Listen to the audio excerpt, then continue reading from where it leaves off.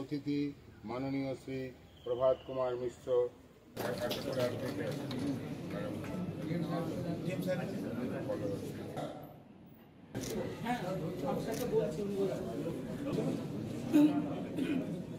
এটা সার্ভে করার জন্য আমি বলেছি আমার ইঞ্জিনিয়ারদের এবং আমি সোমেনবাবুকে ইরিগেশন মিনিস্টারকেও অনুরোধ করব যে তাঁর দপ্তর থেকেও জয়েন্ট সার্ভে হোক।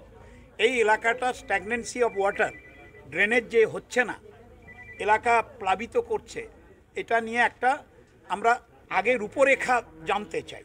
কারণ বিষয়টার গভীরে ঢুকে পরিকল্পনাটা না জানতে পারলে তো বুঝতে পারব না।